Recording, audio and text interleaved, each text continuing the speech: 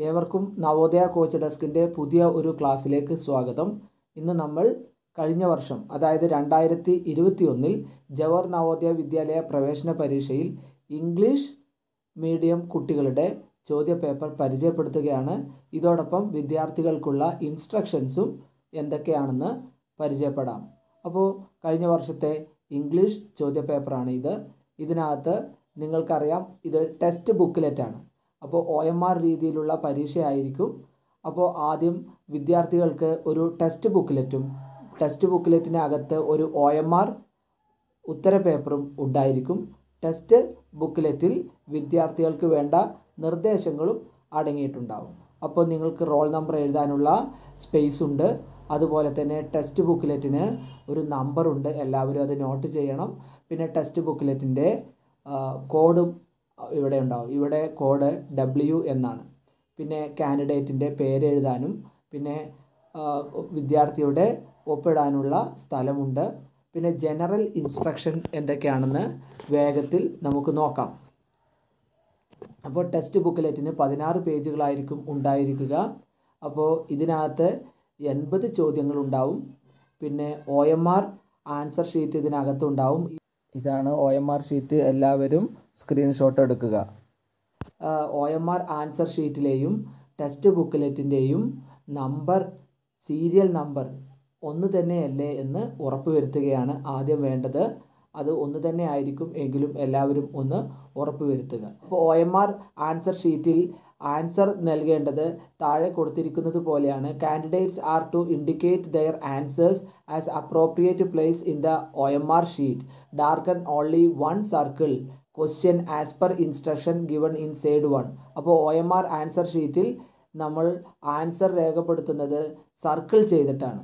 അതായത് ഓരോ ചോദ്യത്തിനും നാല് ഉത്തരങ്ങളുണ്ടാവും ശരിയായ ആൻസർ നമ്മൾ ബ്ലാക്ക് ആൻഡ് ചെയ്യുകയാണ്.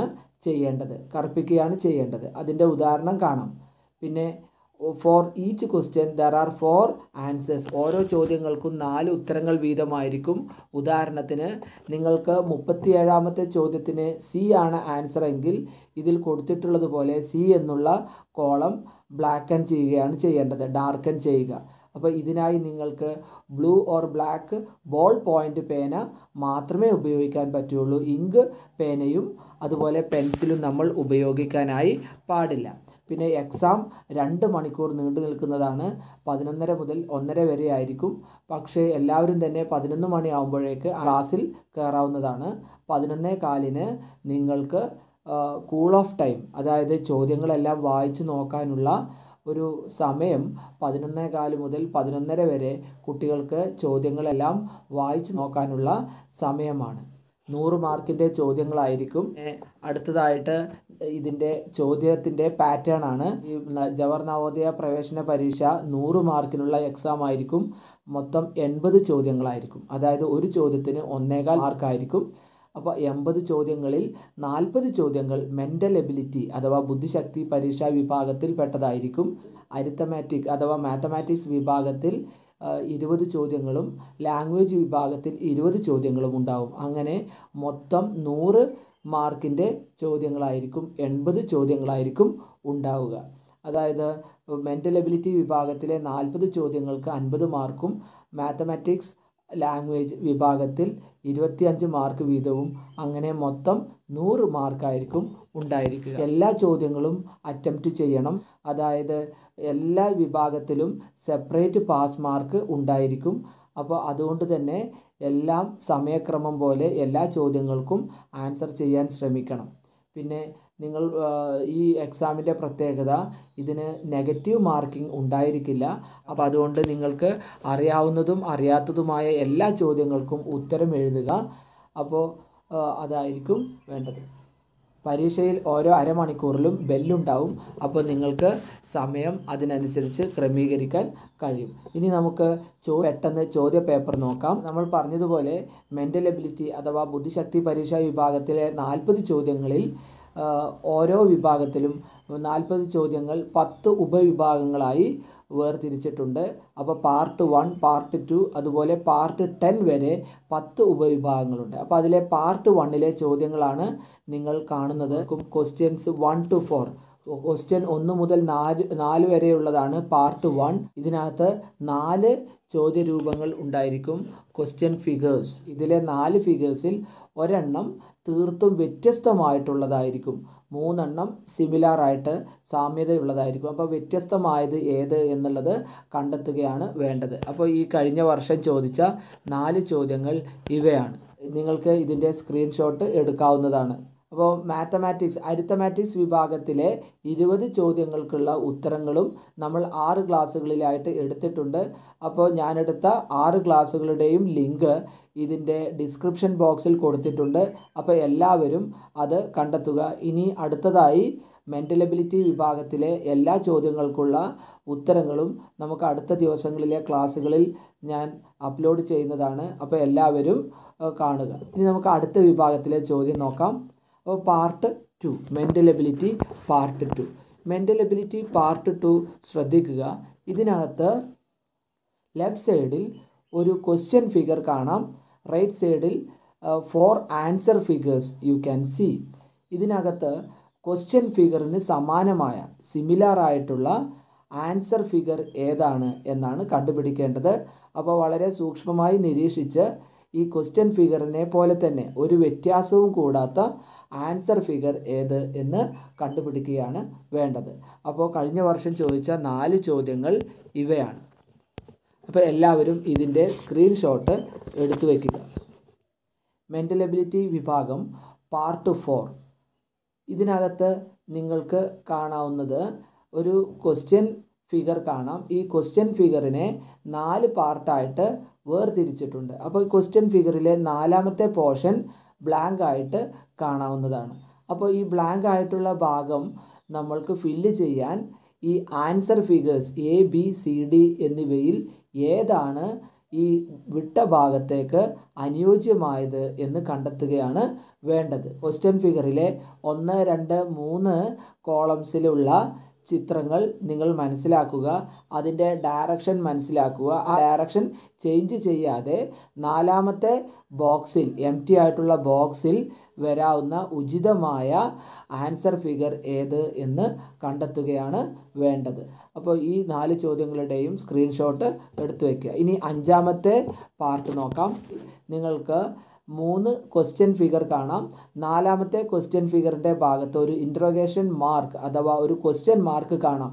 ആ ഒരു കോളത്തിൽ വരാവുന്ന ആൻസർ ഫിഗർ ഈ എ ബി സി ഡി എന്നിങ്ങനെ നാല് ആൻസർ ഫിഗേഴ്സിൽ ഏതാണ് ആ ക്വസ്റ്റ്യൻ മാർക്ക് വരുന്ന കോളത്തിൽ ചേരുന്നത് എന്നുള്ളത് കണ്ടുപിടിക്കുക ഈ ക്വസ്റ്റ്യൻ ഫിഗേഴ്സ് എല്ലാം തന്നെ ഒരേ സീരീസിൽ പെട്ടതാണ്. അപ്പോൾ അതുകൊണ്ട് അടുത്ത സീരീസിൽ വരുന്നതായിരിക്കും നാലാമത്തെ കോളത്തിൽ വരുന്നത്.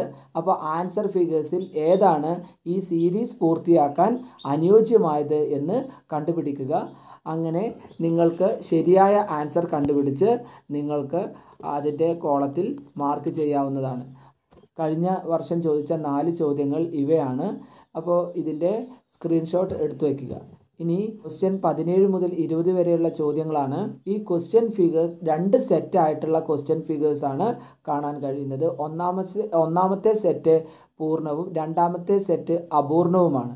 ഒന്നാമത്തെ സെറ്റിലെ ഒന്നും രണ്ടും കോളത്തിലുള്ള ഫിഗേഴ്സ് ഒരു പ്രത്യേക അനുപാതത്തിൽ ഉള്ളതായിരിക്കും. അതിന് ഒരു പ്രത്യേക റിലേഷൻഷിപ്പ് ഒന്നിനും രണ്ടിനും ഒരു റിലേഷൻഷിപ്പ് ഉണ്ടായിരിക്കും. ഈ റിലേഷൻഷിപ്പ് നമ്മൾ മനസ്സിലാക്കിയാൽ മൂന്നും നാലും തമ്മിലുള്ള മൂന്നും നാലും കോളങ്ങളിലെ ഫിഗേഴ്സ് തമ്മിലുള്ള റിലേഷൻഷിപ്പും അതുപോലെ തന്നെ ആയിരിക്കും. അപ്പോൾ അങ്ങനെ നാലാമത്തെ വിട്ടുപോയ ക്വസ്റ്റ്യൻ മാർക്കുള്ള കോളത്തിലെ ഫിഗർ ഈ ആൻസർ ഫിഗേഴ്സിൽ ഏതാണെന്ന് കണ്ടെത്തുക. മെന്റൽ എബിലിറ്റി പാർട്ട് സെവൻ ഇരുപത്തിയൊന്ന് മുതൽ ഇരുപത്തിനാല് വരെയുള്ള ചോദ്യങ്ങളാണ്. നിങ്ങൾക്ക് ലെഫ്റ്റ് സൈഡിൽ ഒരു ജിയോമെട്രിക്കൽ ഫിഗർ അതായത് ട്രയാങ്കിൾ സ്ക്വയർ സർക്കിൾ എന്നിവ കാണാൻ കഴിയും. ഈ ഫിഗർ പൂർണമായിട്ട് ഉള്ളതല്ല. അപ്പോൾ ലെഫ്റ്റ് സൈഡിലെ ആ ജിയോമെട്രിക്കൽ ഫിഗർ പൂർത്തിയാക്കാൻ ഏറ്റവും അനുയോജ്യമായ answer figures A B C D എന്നിവയിൽ ഏതാണ് എന്ന് കണ്ടുപിടിക്കുകയാണ് വേണ്ടത്. അപ്പോൾ അതിലെ കൃത്യമായ ഫിഗർ നിങ്ങൾ കണ്ടെത്തി കഴിഞ്ഞാൽ ആ ഭാഗം ഈ ക്വസ്റ്റ്യൻ ഫിഗറിനോട് ചേർത്ത് വെച്ചാൽ ആ ജിയോമെട്രിക്കൽ ഷേപ്പ് പൂർണമായും നമുക്ക് കിട്ടും. ട്രയാങ്കിൾ സ്ക്വയർ സർക്കിൾ തുടങ്ങിയ ജിയോമെട്രിക്കൽ ഷേപ്പ് പൂർത്തിയാക്കാൻ ആവശ്യമായ ഏറ്റവും അനുയോജ്യമായ ആൻസർ ഫിഗേഴ്സ് ഏതാണെന്ന് കണ്ടുപിടിക്കണം. ഈ വിഭാഗത്തിലെ ചോദ്യങ്ങളുടെ സ്ക്രീൻഷോട്ട് എടുക്കുക.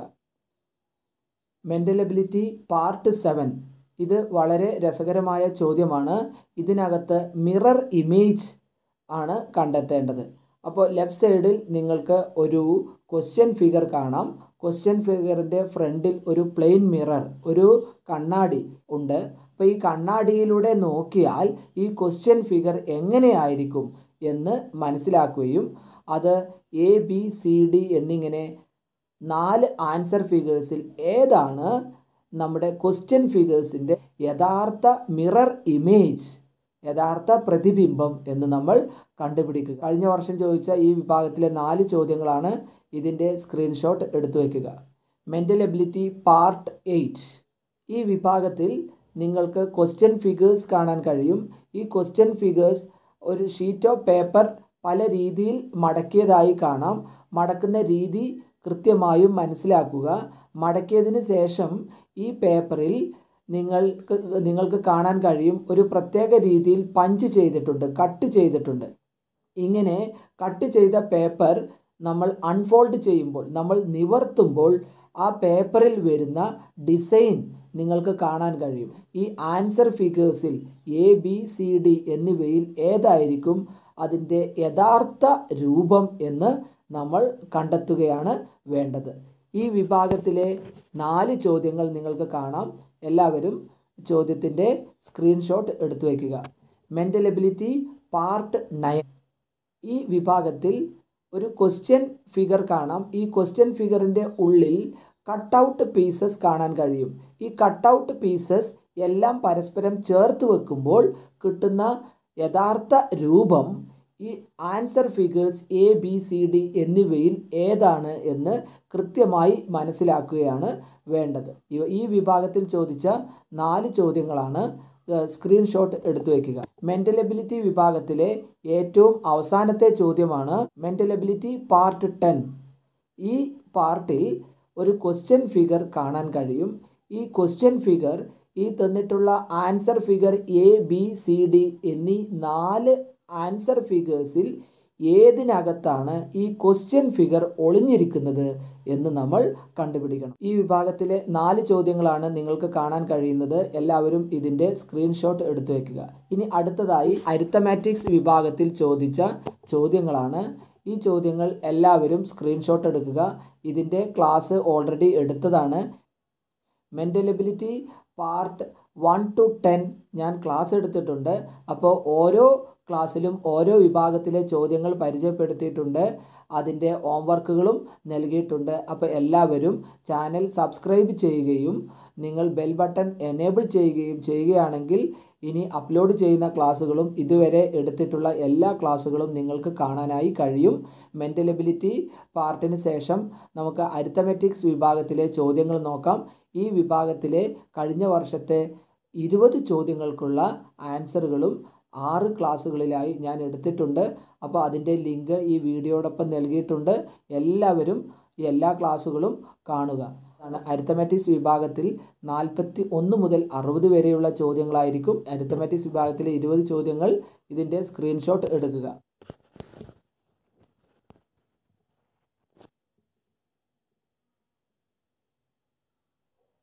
Section three language part. Language പാർട്ടിൽ നാല് പാസേജുകൾ തന്നിട്ടുണ്ടാവും. ഓരോ പാസേജിന്റെ എൻഡിലും അഞ്ച് വീതം ചോദ്യങ്ങളുണ്ടാവും. You can see the first passage and end of this passage you can see five questions sixty one to sixty five and after this passage two you can see five question sixty six to seventy and for each question four options are given A B C d. and you have to select the correct option for the for each question. Read the passage carefully and answer all the five questions given at the end of each passage. So under the first passage you have question from 61 to 65 and uh, for passage 2 you have question from 66 to 70. For each question there are four options and you have to select the correct options. And you can see here passage 3 and 4 and uh, for passage 3 and 4 also there are five questions each and each question contain four options. And you have to select the correct options. You can take a screenshot of the passage and the questions take the screenshot. So today we have discussed the question paper of JNVST examination 2021 next class onwards English and in the next classes we will discuss the mental ability. Next classes onwards we will discuss mental ability part 1 to 10 okay thank you. Bye one.